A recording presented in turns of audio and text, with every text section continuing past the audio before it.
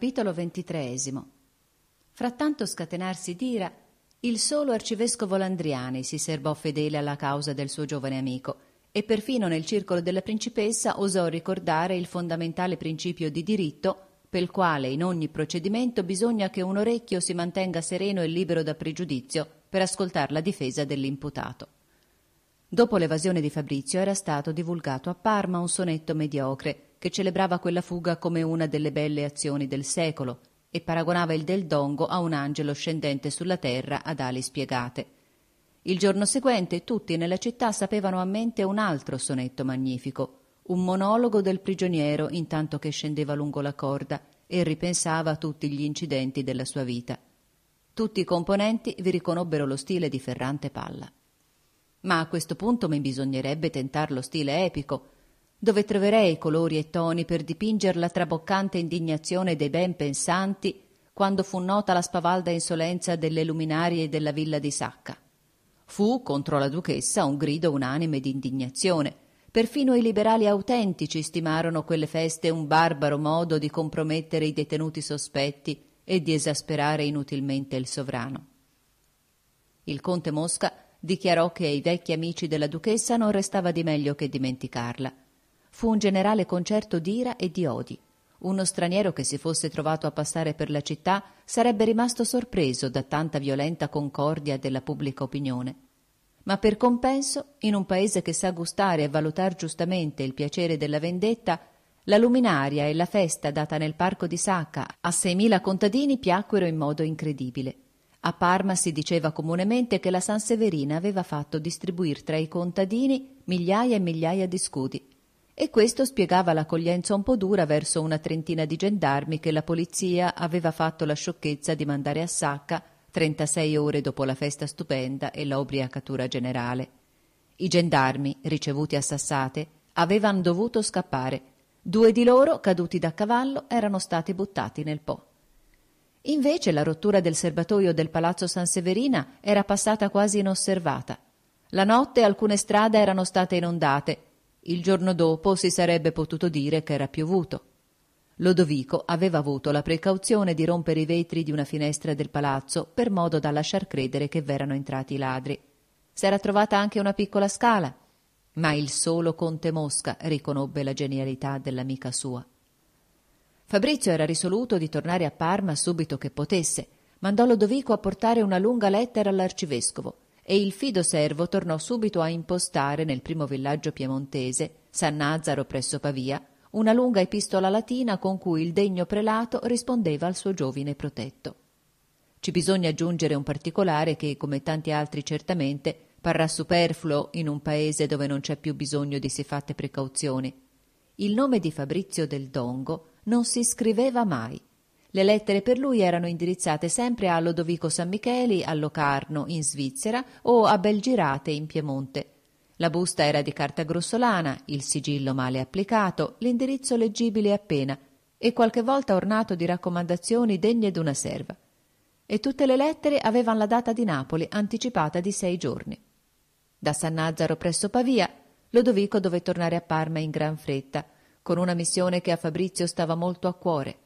Si trattava niente meno che di far avere alla signorina Conti un fazzoletto di seta sul quale era stampato un sonetto del Petrarca. C'era cambiata solo una parola.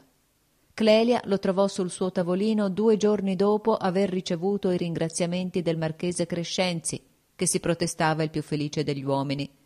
E non è necessario dire che effetto le produceste questo segno di una così affettuosa costanza. Lodovico doveva anche procurarsi tutti i particolari possibili su tutto quel che avveniva nella cittadella e dové quindi informar Fabrizio che ormai il matrimonio della signorina col marchese Crescenzi era cosa stabilita. Quasi non passava giorno che il marchese non desse a Clelia, nella cittadella stessa, una festa. E una prova irrefutabile del prossimo matrimonio stava in ciò, che il marchese, ricchissimo e per conseguenza avarissimo, come son per lo più i ricchi dell'Italia settentrionale, faceva grandi preparativi sebbene sposasse una signorina senza dote. Vero è che la vanità del general Conti punta da questa osservazione che, se per lui era intollerabile, non poteva non venire in mente a tutti, lo aveva deciso a comprare, per assegnarla alla figliuola, una tenuta del valore di più di trentamila lire. l'aveva pagata a contanti, lui che pur si sapeva come non possedesse nulla, e l'aveva pagata a contanti, secondo ogni probabilità, coi denari del marchese. Le spese di contratto e accessori, che salivano a dodicimila lire, parvero al Crescenzi, uomo eminentemente logico, una cosa ridicola. Dal canto suo egli faceva fare a Lione delle tappezzerie magnifiche di tinte ben combinate sotto la direzione del famoso Palagi, pittore bolognese. Queste tappezzerie, ciascuna delle quali conteneva un episodio scelto nella storia della famiglia Crescenzi, che, come tutti sanno, discende dal famoso Crescenzio, console di Roma nel 985, doveva decorare i 17 saloni del pian terreno del palazzo. Le tappezzerie, gli orologi, i lampadari portati a Parma costarono più di 350.000 lire. Il valore degli specchi nuovi, aggiunti a quelli che erano già nel palazzo, ammontò a 200.000. Tranne due sale affrescate dal Parmigianino, il più gran pittore del paese dopo il divino Correggio, tutte le altre erano ora invase dai più celebri pittori di Firenze, di Roma e di Milano, che le decoravano. Fokelberg, il famoso scultore svedese, il Tenerami di Roma e il Marchesi milanese attendevano da un anno a dieci bassorilievi rappresentanti altrettante gesta di quel vero grand'uomo che Crescenzio fu. Anche la più parte degli affreschi delle volte figuravan fatti della sua vita. Ammiratissimo il soffitto in cui l'Aiez aveva rappresentato Crescenzio, ricevuto negli Elisi da Francesco Sforza, da Lorenzo il Magnifico, dal re Roberto, da Cola di Rienzo, dal Machiavelli, da Dante e da altri grandi uomini del Medioevo. L'ammirazione per questi grandi del passato ha un qualche sapor d'epigramma contro i potenti dell'oggi. Queste magnificenze erano l'unica occupazione, l'unico argomento dei discorsi della nobiltà e della borghesia parmense, e furono ferite al cuore di Fabrizio, quando le lesse narrate con ingenua ammirazione in una lunga lettera che Lodovico aveva fatto scrivere da un impiegato alla dogana di Casalmaggiore. E io son così povero, pensava, quattromila lire di rendita in tutto e per tutto. Ci vuol proprio un bel coraggio ad andarmi a innamorar d'una donna per cui si fanno di questi miracoli.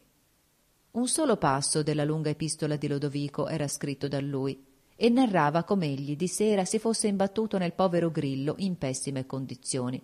Imprigionato dapprima, poi liberato, era in tristissimo arnese. Gli aveva chiesto per carità uno zecchino e lui, in nome della signora duchessa, gliene aveva dati quattro. I vecchi carcerieri, dodici, rimessi da poco in libertà, si preparavano a dare un trattamento di coltellate ai nuovi, loro successori, se li potevano cogliere fuori della cittadella. Anche Grillo gli aveva detto che le serenate si facevano quasi quotidianamente, che la signorina Clelia era assai pallida, spesso ammalata e altre cose simili. Questa singolare espressione fece sì che Lodovico ebbe a volta di corriere l'ordine di tornar subito a Locarno. Vi andò e le notizie che diede a voce furono per Fabrizio anche più tristi. Si può immaginare la piacevolezza delle sue relazioni con la duchessa. Egli sarebbe morto piuttosto che pronunciar davanti a lei il nome di Clelia. Ella esecrava Parma e per lui tutto quel che la ricordava era fonte di commozioni sublimi. La duchessa non dimenticava la sua vendetta. Era così felice prima del malaugurato incidente Giletti e ora Ora viveva nell'attesa d'un fatto atroce del quale neppure avrebbe osato dire una parola a Fabrizio. Ella che quando pigliava gli accordi col Palla credeva di procurargli cagione di viva letizia col dirgli che un giorno sarebbe vendicato. Così tra loro era quasi sempre un silenzio cupo. Per rendere un po più gradevoli queste relazioni, la duchessa aveva ceduto alla tentazione di fare un brutto tiro al nipote. Il conte le scriveva quasi ogni giorno. Evidentemente egli mandava corrieri, come a bei tempi del loro amore, perché le lettere portavano timbri di questa o di quella città svizzera. Il pover'uomo si torturava per non parlar troppo apertamente del suo amore e per mettere assieme lettere piacevoli. Eran lette appena, distrattamente. Che vale, ahimè, la fedeltà d'un amante, al quale non concediamo che la nostra stima, quando si ha il cuore tormentato dalla freddezza di colui che gli si preferisce? In due mesi ella non gli rispose che una volta, e solo per invitarlo a tastare il terreno e sapere se, nonostante i temerari fuochi artificiali, la principessa avrebbe gradito una lettera sua. Nella lettera, che egli avrebbe dovuto presentare se giudicava conveniente il farlo, si chiedeva il posto di cavaliere d'onore, da poco vacante, per il marchese Crescenzi, e si esprimeva altresì il desiderio che quella onorificenza gli fosse accordata in occasione del suo matrimonio. Quella lettera della duchessa era un capolavoro pieno di rispettosa affezione. Nello stile cortigianesco non s'era introdotta parola le cui conseguenze prossime o lontane potessero non essere gradevoli alla principessa. Infatti la risposta fu dettata da un'amicizia tenerissima che sente vivo il rammarico della lontananza. Mio figlio ed io non abbiamo più passato una serata piacevole dopo la sua brusca partenza. La mia cara duchessa non ricorda dunque che è stata proprio lei a farmi aver voto consultivo nella scelta degli ufficiali della mia casa e si crede in dovere di darmi delle ragioni per la scelta del marchese Crescenzi come se il suo desiderio non fosse per me un'ottima ragione. Il marchese avrà il posto se io conto qualche cosa e ci sarà un posto sempre e il primo nel mio cuore per la mia cara duchessa. Mio figlio dice le stesse cose, veramente un po' arditelle in bocca d'un ragazzone di ventuno anni, e la prega di procurargli dei campioni di minerali della Val d'Orta presso Belgirate. Può mandar le sue lettere, che spero frequenti, al conte, che la detesta sempre e che m'è caro appunto per questo. Anche Monsignor Arcivescovo le è rimasto amico, e tutti speriamo prima o poi di rivederla. Si ricordi che è necessario.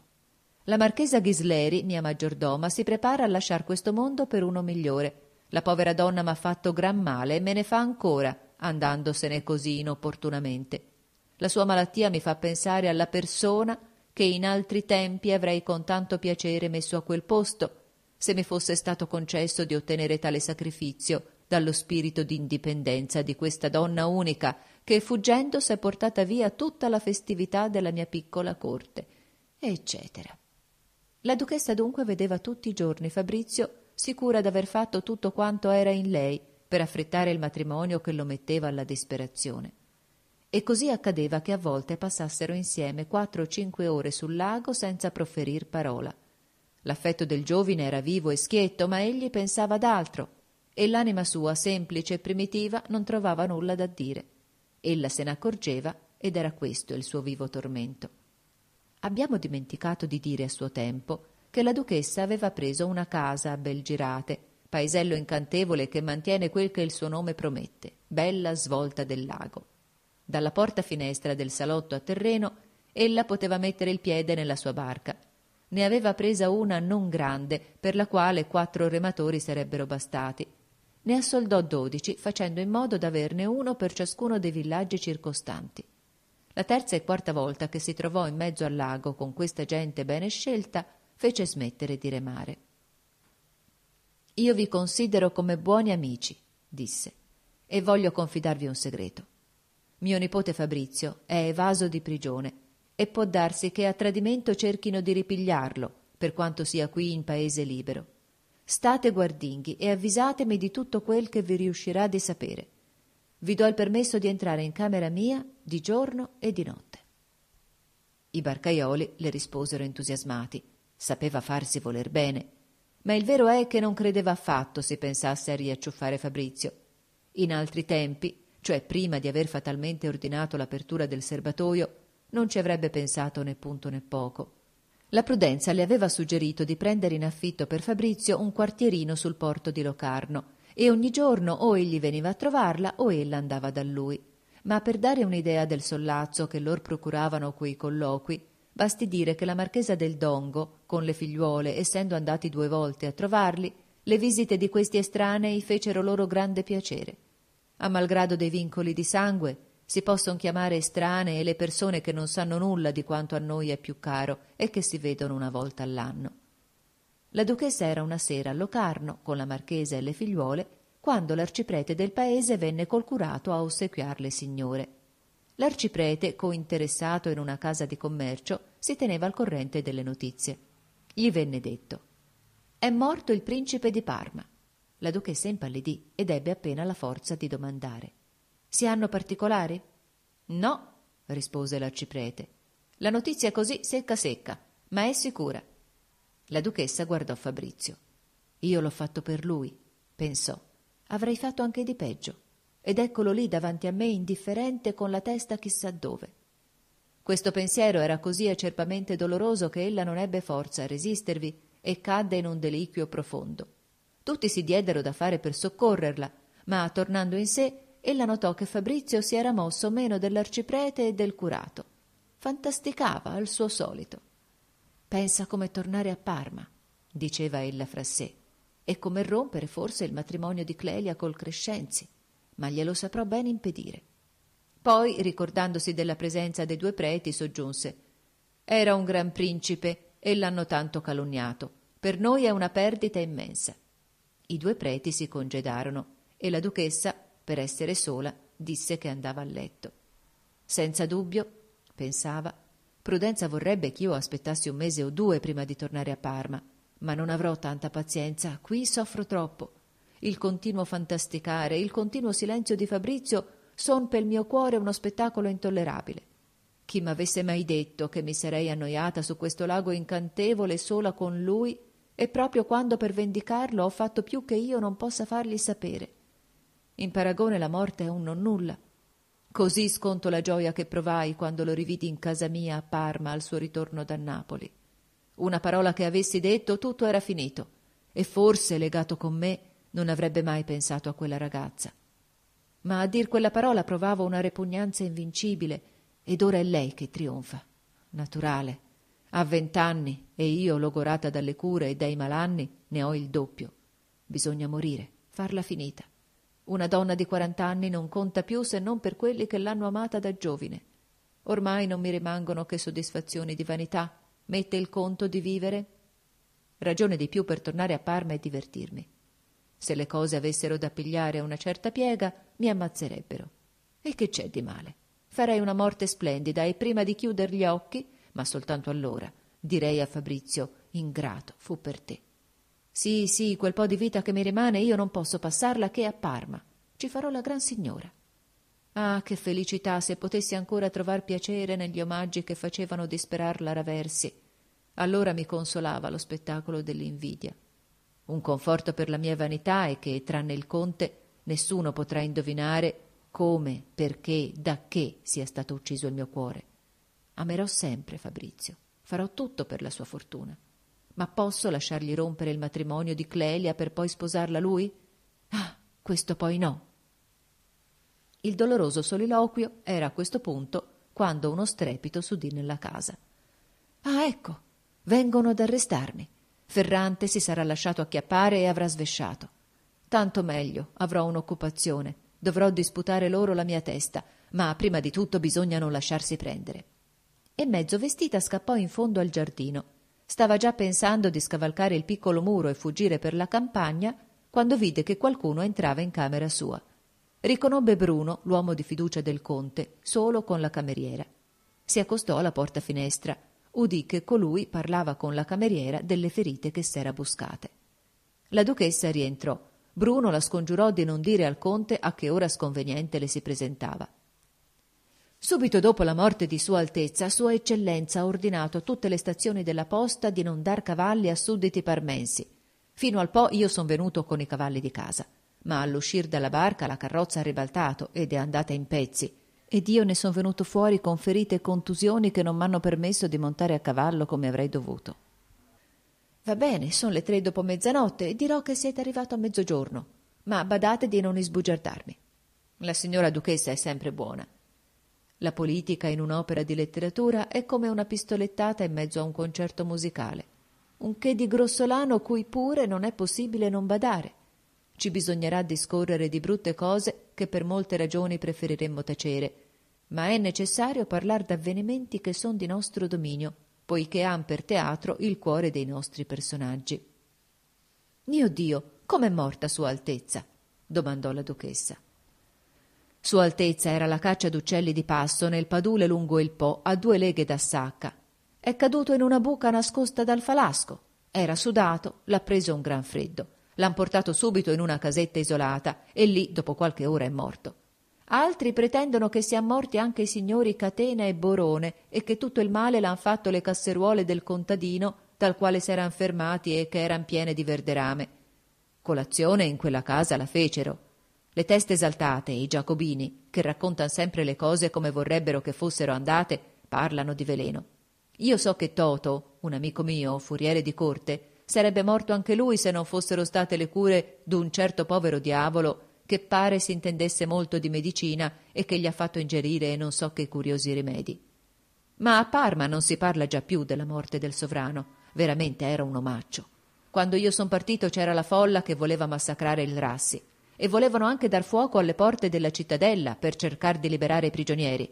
Ma dicevano che il general Conti avrebbe sparato i cannoni. C'era poi invece chi raccontava che gli artiglieri della fortezza avevan bagnato le polveri, protestando che non volevano assassinare i loro compaesani. Ma ora viene il meglio. Intanto che il chirurgo di San Dolaso mi rimetteva a posto il braccio, è arrivato uno da Parma e ha raccontato che la folla, visto Barbone, sa, quel commissario della cittadella, vistolo per le strade, l'ha ammazzato e poi è andata a impiccarlo a un albero dello stradone, il più vicino alla porta della cittadella. Il popolo s'era anche mosso per andare a buttar giù la statua del principe nei giardini della corte, ma il signor Conte ha preso un battaglione della guardia, l'ha disposto intorno alla statua e ha fatto dire al popolo che non uno che osasse entrar nei giardini ne sarebbe uscito vivo. E la folla ha avuto paura. Il più strano è che quest'uomo arrivato da Parma, che è un nostro gendarme, mi ha detto e ripetuto che il signor Conte ha preso a calcio il generale P, comandante la guardia del principe, e l'ha fatto portar fuori del giardino da due fucilieri, dopo avergli strappate le spalline. A questo lo riconosco, sclamò la duchessa in un impeto di gioia che non avrebbe ella stessa immaginato un minuto prima. Ah, egli non permetterà mai che si oltraggi la nostra principessa, ma il generale P era pur uno dei fedeloni e non ha mai voluto servire l'usurpatore, e invece han più volte a corte rimproverato al conte, men delicato, di aver preso parte alla guerra di Spagna.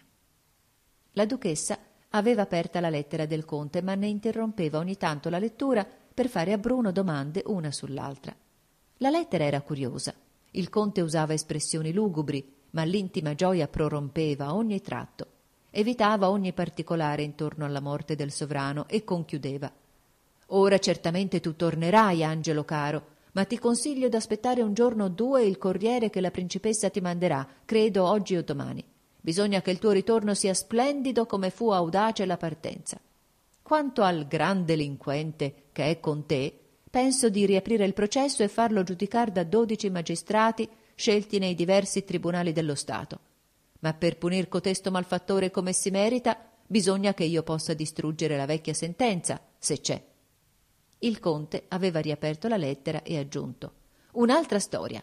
Ho fatto distribuir cartucce ai due battaglioni della guardia e sono in procinto di combattere e di far del mio meglio per meritare il nomignolo di crudele di cui da un pezzo i signori liberali mi hanno gratificato quella vecchia mummia del generale P ha osato in caserma di proporre trattative col popolo insorto.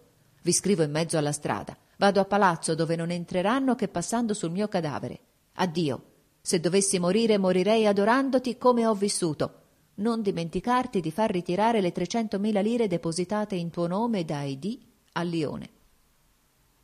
Ma arriva quel povero diavolo del Rassi, pallido come un morto e senza parrucca una figura che non è possibile figurarsela. Il popolo vuole a ogni costo impiccarlo e gli farebbe veramente gran torto perché merita d'essere squartato. Cercava rifugiarsi in casa mia e m'è corso dietro nella strada. Io non so che me ne fare. Non lo voglio accompagnar dal principe perché sarebbe una aizzar la rivolta contro il principe stesso. F vedrà se gli sono amico. Al Rassi ho detto: Mi bisogna la sentenza contro il signor del Dongo e tutte le copie e dite ai giudici da parte mia che sono loro la vera causa della ribellione, che li farò impiccar tutti e anche voi, amico mio, se si lasciano sfuggire una parola di questa sentenza che non esiste. Mando una compagnia di granatieri a Monsignor Arcivescovo. Addio, Angelo caro. Può darsi che mettan fuoco al mio palazzo e io perderò tutti i tuoi bei ritratti. Ora corro a far destituire quel traditore del generale P, che ne fa delle sue. Ora adula vilmente il popolo come già adulava il principe defunto. Tutti questi generali hanno del resto una paura indiavolata. Bisognerà, credo, che mi faccia nominar generale in capo. La duchessa ebbe l'accorgimento di non mandare a svegliar Fabrizio. In quel momento sentiva pel conte un'ammirazione che somigliava molto all'amore. Tutto considerato, pensò, bisognerà che lo sposi. Gli scrisse subito e mandò uno dei suoi quella notte non ebbe tempo d'essere infelice. Il giorno dopo, verso il mezzogiorno, vide una barca con dieci rematori a bordo che fendeva rapida le acque del lago. Tanto lei quanto Fabrizio riconobbero presto un uomo che vestiva la livrea del principe di Parma. Era infatti un corriere che, appena smontato, le disse La rivolta è domata e le consegnò lettere del conte, una bellissima della principessa e un'ordinanza del principe Ranuccio Ernesto V, che la nominava duchessa di San Giovanni e maggiordoma della principessa madre. Il giovine principe, dotto in mineralogia e che ella credeva uno sciocco, aveva avuto lo spirito di scriverle un biglietto. Signora duchessa, il conte Mosca dice che è contento di me. Tutto si riduce a qualche fucilata affrontata accanto a lui. Il mio cavallo è stato ferito. A sentire il chiasso che si fa per così poco, m'è venuto il desiderio di prender parte a una vera battaglia, ma che non sia contro i miei sudditi. Io debbo tutto al signor conte Mosca. Tutti i miei generali, che non hanno mai fatta la guerra, si son comportati come conigli. Due o tre, credo, sono scappati fino a Bologna. Dopo il grande e doloroso avvenimento che mi ha chiamato al trono, nessuna ordinanza ho firmato con maggior piacere di quella che la nomina maggiordoma di Sua Altezza la principessa mia madre. Essa ed io ci siamo ricordati che un giorno la signora duchessa ammirò la bella vista che si gode dal palazzetto di San Giovanni, il quale è fama abbia appartenuto al Petrarca. Mia madre ha voluto regalarle questa piccola tenuta, e io, non sapendo che donarle, e non osando offrirle quello che è già suo, ho voluto farla duchessa del mio paese. Non so se ella sia tanto erudita da sapere che San Severina è titolo romano. Ho conferito il gran cordone del mio ordine al nostro degno arcivescovo, che ha mostrato una fermezza rara in uomini di settant'anni. Spero che ella non mi vorrà male dall'aver io richiamate tutte le signore dall'esilio. Mi dicono che d'ora in poi non debbo sottoscrivere che dopo aver messo affezionatissimo. Mi spiace che mi faccian prodigare un'attestazione la quale non è completamente vera se non quando mi dico suo affezionatissimo Ranuccio Ernesto. A legger questa lettera si crederebbe che la duchessa fosse in altissimo favore. Tuttavia, in un'altra del conte, che le giunse un paio d'ore dopo, c'era un che di singolare. Non si spiegava bene, ma la consigliava di scrivere alla principessa che una indisposizione momentanea la costringeva a ritardare di qualche giorno il ritorno a Parma. Ciò nonostante, la duchessa e Fabrizio partirono subito dopo pranzo. Ella, in fondo, per quanto non lo confessasse neppure a se stessa, voleva affrettare il matrimonio del marchese Crescenzi e Fabrizio dal canto suo viaggiò in una vera estasi di felicità che a momenti parve a sua zia perfino ridicola. Sperava di veder Clelia e almanaccava disegni di rapimento anche contro la volontà di lei, ove non ci fosse altro mezzo di mandare all'aria quel matrimonio. Così il viaggio fu allegro. Alla stazione della posta, prima di giungere a Parma, Fabrizio riprese l'abito ecclesiastico. Di solito era vestito a lutto. Quando rientrò nella camera della duchessa, questa gli disse Le lettere del conte hanno qualcosa di misterioso che non riesco a capire. Se tu volessi darmi retta, dovresti fermarti qui qualche ora. Ti manderò un corriere appena gli avrò parlato. Ci volle del bello e del buono per persuader Fabrizio di arrendersi a questo suggerimento così ragionevole. Il conte accolse la duchessa, che chiamava sua moglie, con manifestazioni di gioia degne d'un ragazzo di quindici anni. Stette un pezzo senza parlar di politica. Poi, quando venne all'increscioso argomento, le disse Hai fatto bene a non far arrivar qui Fabrizio ufficialmente. Qui siamo in piena reazione. Indovina chi mandato per collega come ministro della giustizia. Il Rassi. Il Rassi, cara mia, che io trattai da quello straccione che è il giorno della rivolta. A proposito, ti avverto che qui non è accaduto nulla. Se leggi la gazzetta vedrai che un impiegato della cittadella, un certo Barbone, è morto cadendo da una carrozza. La sessantina di mascalzoni che sono rimasti morti nell'assalto della statua in giardino stanno benissimo, ma viaggiano. Il conte Zurla, ministro dell'interno, è andato in persona alle case di ognuno di questi infelici eroi e ha elargito quindici zecchini alla famiglia o agli amici con l'ordine preciso di dire che il morto era fuori paese e con la minaccia della prigione a chi si fosse lasciato uscir di bocca che fu ammazzato. Un impiegato del mio Ministero degli Esteri è stato spedito in missione ai giornali di Milano e di Torino perché non parlino dell'incidente malaugurato, come s'è stabilito di chiamarlo, e dovrà andar fino a Parigi e a Londra per far stampare smentite quasi ufficiali a tutto quel che si potesse raccontare dei nostri disordini. Un altro è stato mandato a Bologna e a Firenze. Io ho lasciato fare, ma il bello è che alla età mia ho avuto veramente uno slancio d'entusiasmo nel parlare ai soldati della guardia e strappar le spalline a quello scimunito di P. In quel momento avrei senza esitare data la vita pel principe. Ora è vero, riconosco che sarebbe stata una fine alquanto stolida. Il principe, sebbene bonaccione, darebbe oggi cento scudi perché io morissi di malattia. Non osa ancora chiedermi le dimissioni, ma ci parliamo più di rado che si può, e io gli mando una gran quantità di piccole relazioni per iscritto, come facevo col padre dopo l'arresto di Fabrizio.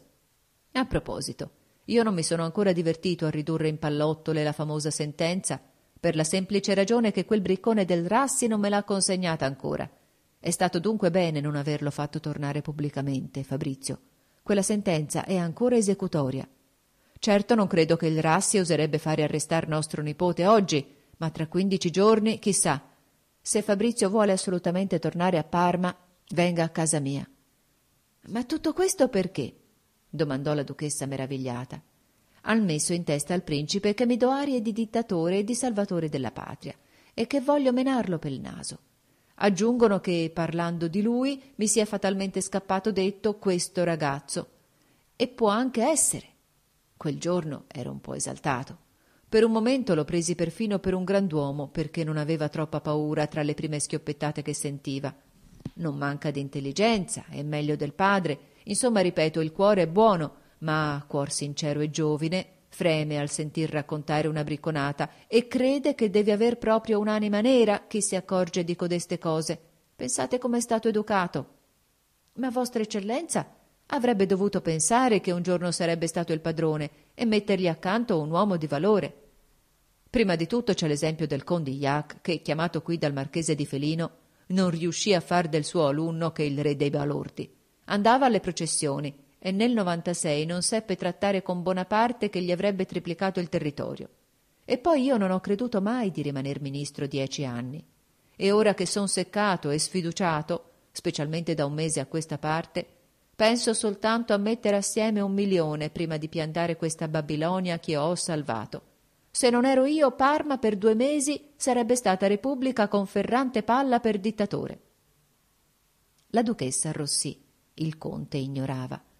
Noi riprecipitiamo verso la monarchia tipo secolo XVIII, il confessore e la favorita. In fondo il principe non ama che la mineralogia, e forse un po' voi, signora mia. Da che regna il suo cameriere, del quale ho fatto capitano il fratello dopo appena nove mesi di servizio, è arrivato a ficcargli in testa che lui ha da essere più felice di chiunque altro perché il suo profilo sarà inciso sulle monete. E con questa bella idea gli è cominciata la noia. Ora gli ci vuole, per rimedio a questa noia, un aiutante di campo. E quando pur m'offrisse quel famoso milione che ci bisogna per viver discretamente a Napoli o a Parigi, io proprio non vorrei essere questo rimedio alla noia e passare ogni giorno quattro o cinque ore con l'altezza sua. E poi, siccome sono più intelligente di lui, dopo un mese mi prenderebbe per un mostro. Il padre era tristo e invidioso, ma aveva fatto la guerra, comandato corpi d'armata, e questo l'aveva un po' formato, in lui c'era la stoffa del principe e io potevo essere un ministro, buono o cattivo. Ma con questo benedetto figliuolo, candido e troppo buono, sono obbligato a essere un intrigante. Mi toccherà d'essere rivale dell'ultima pettegola di palazzo e in condizioni di inferiorità, perché non saprò mai badare a certi particolari. Per esempio, tre giorni fa una di quelle donne di guardaroba che distribuiscono negli appartamenti tutte le mattine gli asciugamani di bucato ha fatto smarrire al principe la chiave d'una delle sue scrivanie e Sua Altezza non ha voluto occuparsi degli affari le cui carte son dentro questa scrivania. Era facile con venti lire far staccare le tavole di fondo o adoperar grimaldelli o altre chiavi. Ma Ranuccio Ernesto V m'ha detto che così si sarebbero date cattive abitudini al fabbro ferraio della corte. Finora gli è stato assolutamente impossibile di voler per tre giorni di seguito la stessa cosa – se fosse nato il ricco signor marchese tal de tali, questo principe sarebbe stato uno degli uomini più stimabili della corte, una specie di Luigi XVI, ma con la sua pia ingenuità come potrà evitare tutti i sapienti tranelli che lo circondano? E il salotto della Raversi è più forte che mai. Vi hanno scoperto che io, io che ho fatto sparar sulla folla e che ero deciso a far ammazzar tremila uomini se bisognava, per non consentire sfregi alla statua del principe che fu il mio sovrano, io, hanno scoperto, sono un liberale arrabbiato, che volevo fargli firmare una Costituzione e altre fanfaluche simili. Con tutti i loro discorsi di Repubblica, questi pazzi ci impedirebbero d'aver la migliore delle monarchie. Insomma, voi siete la sola persona di questo partito liberale di cui io dovrei, secondo i miei nemici, essere il capo, sul cui conto il sovrano non si sia espresso in termini sgarbati. L'arcivescovo, soltanto per aver parlato con equità di quel che feci durante l'incidente malaugurato, è in disgrazia. Subito dopo i fatti, che ancora non si chiamavano malaugurati, quando era ancor vero che c'era stata la rivolta, il principe disse all'arcivescovo che nel caso di un nostro matrimonio mi avrebbe fatto duca, affinché poteste conservare il titolo di duchessa. Oggi credo sarà fatto conte il Rassi, che io feci far nobile quando mi vendeva i segreti del sovrano, e se questo avviene io ci farò la figura dell'imbecille. E il povero principe si caccia in un pantano. Sicuro, ma lui resta il padrone, qualità che in quindici giorni basta a far scordare il ridicolo. Ah, cara duchessa, andiamocene. Ma noi non siamo ricchi. Lo so.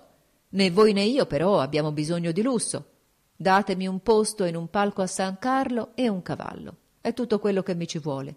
Un po' più di lusso un po' meno. Non sarà questo che determinerà la nostra condizione nel bel mondo. Sarà il piacere che le persone intelligenti avranno nel venir da voi a prendere una tazza di tè. E che sarebbe avvenuto nei giorni malaugurati se vi foste tenuto in disparte? come spero che farete da ora in poi. Ma le truppe avrebbero fraternizzato col popolo. Ci sarebbero stati tre giorni di assassini e di incendi. Qui ci vogliono trecent'anni almeno perché la Repubblica non sia un assurdo. Poi un paio di settimane di saccheggi, finché qualche reggimento straniero non fosse venuto a metter le cose a posto. Ferrante Palla era tra il popolo, pieno di coraggio e furibondo al solito. Certamente c'era una dozzina di persone d'accordo con lui e questo basterà al Rassi per mettere assieme una magnifica congiura. Certo è che con un vestito da straccione distribuiva oro a piene mani. La duchessa, meravigliata di tutte queste novità, si affrettò ad andare a ringraziar la principessa.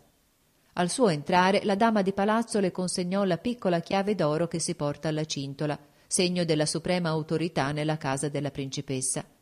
Clara Paolina fece uscir tutti gli altri e, rimasta sola con l'amica sua, durò un pezzetto a tenere il discorso a mezz'aria, a dire e non dire. La duchessa, che non intendeva il perché di quel gioco, rispondeva con grande riserbo, finché la principessa, piangendo, l'abbracciò e disse Le mie sciagure ricominciano. Mio figlio mi tratterà peggio che il padre.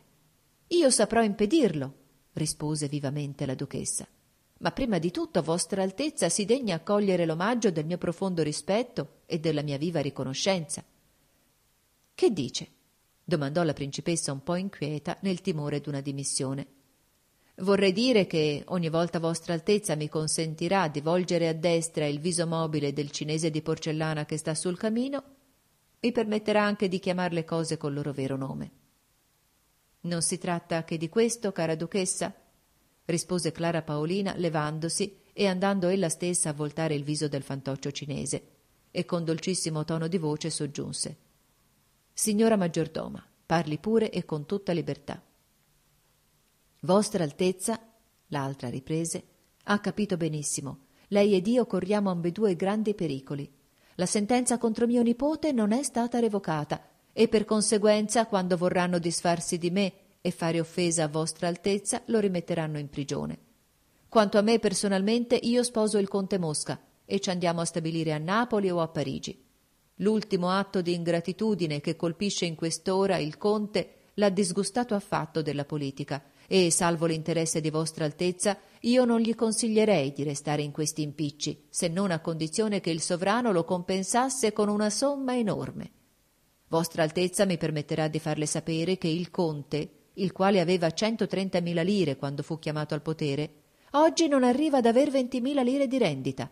Da un pezzo io lo pregavo di pensare alla sua fortuna, ma inutilmente.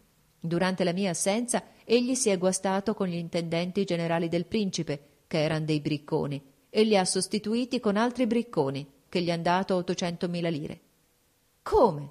sclamò la principessa sbigottita. Come questo mi dispiace. Desidera vostra altezza che io volti il cinese a sinistra? domandò la duchessa con gran sangue freddo. Oh Dio no! sclamò la principessa. Ma mi dispiace che un uomo del carattere del conte si sia servito di questi modi di guadagno. Ma senza questo furto sarebbe stato disprezzato da tutti i galantuomini. Mio Dio, com'è possibile? Altezza, qui all'infuori del mio amico marchese Crescenzi, che ha circa quattrocentomila lire di rendita, tutti rubano. E come non si avrebbe da rubare in un paese ove la riconoscenza verso chi rese i più grandi servizi non dura un mese. Di vero e di durevole che sopravviva non resta dunque che il denaro. Altezza, io mi prenderò la libertà di dirle delle terribili verità. E io gliel'accordo, dichiarò la principessa con un profondo sospiro. Tuttavia mi sono crudelmente spiacevoli a conoscere. Orbene, Altezza, il principe, per quanto buonissimo, può farla infelice assai più di quanto l'abbia fatta il padre. Il compianto sovrano aveva un carattere come tutti su per giù l'hanno. Ernesto Ranuccio V non è sicuro di voler la stessa cosa tre giorni di seguito e per conseguenza ad esser sicuri di lui bisogna viverci sempre insieme e non lasciarlo parlar con nessuno. E siccome tutto ciò non è molto difficile indovinare, il nuovo partito ultra, capeggiato da quelle due buone teste che sono il Rassi e la marchesa Raversi, cercherà di procurare un amante a Sua Altezza. Un amante che potrà liberamente provvedere a farsi un patrimonio e a distribuir qualche ufficio subalterno, ma dovrà essere garante al partito della costante volontà del sovrano. Io, per esser sicura presso vostra altezza, ho necessità che il Rassi sia esiliato e svergognato. Voglio inoltre che mio nipote sia giudicato dai giudici più onesti che si possano trovare. Se questi signori riconosceranno, come io spero, la sua innocenza, è naturale si accordi a Monsignor Arcivescovo che Fabrizio sia suo coadiutore e gli succeda quando quegli venga a morire. Se a ciò non riesco, il conte ed io ce ne andremo e in questo caso lascio a vostra altezza serenissima il consiglio di non perdonar mai al Rassi e di non uscir mai dagli stati di suo figlio. Da vicino quell'ottimo figliuolo non le farà mai un male veramente serio. Io ho seguito il suo ragionamento con la dovuta attenzione, rispose sorridendo la principessa. Dovrò dunque provvedere io stessa a cercare un amante per il mio figliuolo? No, signora, Faccia intanto che il suo salotto sia il solo in cui il principe non si annoi. La conversazione su questo tema durò non si può dir quanto. Le scaglie cadevano a poco a poco dagli occhi della innocente e arguta principessa. Un corriere andò a dire a Fabrizio che poteva entrare in città, ma di nascosto. Nessuno ci badò, ed egli passava le giornate, vestito da contadino, nella baracca d'un venditore di castagne innanzi alla porta della cittadella, sotto gli alberi dello stradone.